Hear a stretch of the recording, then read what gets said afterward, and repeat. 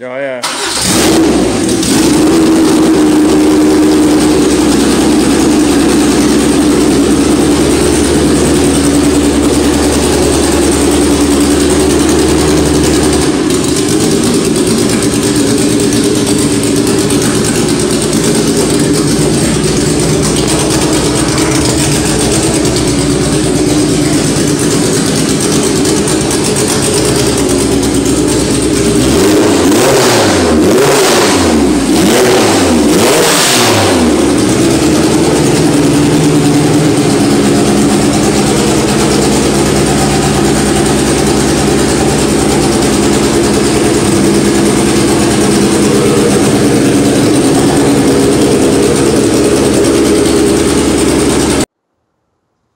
Alright, so we got this all together. New main bearings, new thrust washers, new uh, rod bearings, all Clevite. Crank was all cleaned up, redone. And yeah, she's all torqued down, everything's all torqued. Here, everything turns free, one hand, as you can see. So, Gonna put this thing top dead center again, and then we'll put everything else back on our oil pump, our side piece, our new seal. Then we'll get our oil pickup, our tray, lay down some new sealant, and get the oil pan back on, and go from there. So. Alright, so we got our plate on. We got our transmission. We got our clutch, our stage 4 comp with our flywheel. Everything's torqued spec, Loctited. And we got all our bolts proper size because they can't go past the spacer, right?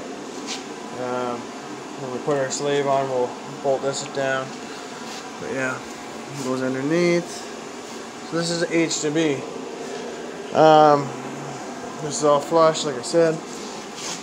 So you got to put these bolts in here, these bolts in here. Your T bracket will go through here, and bolt here and here.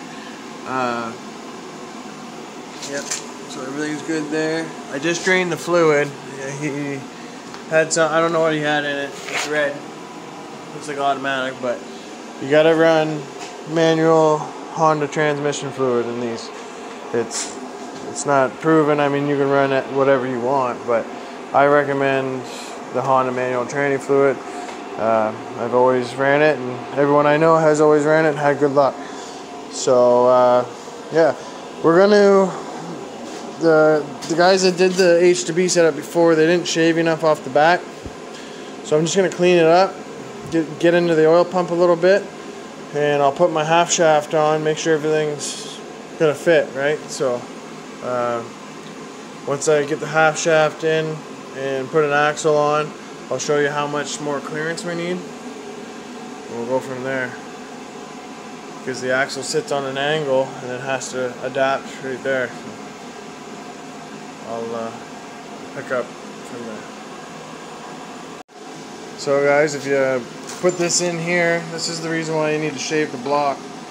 Go to mount this up, get in so far, and it gets tight. Well, you can see the gap in between it, and that's touching inside, right?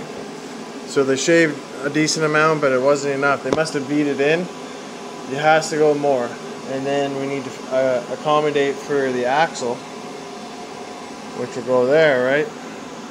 So we need to shave off some more. I'll get another video here in a minute once I get the half shaft to fit flush and it won't be touching the block. Alright guys, I got it cleaned up pretty good, but it's still, it's where it needs to be, but we still have a small gap it needs to be attended and it's because it's barely touching in the back. See it there. So, we'll just go a smidge more. Smidge, smidge, smidge. That way it can bite up.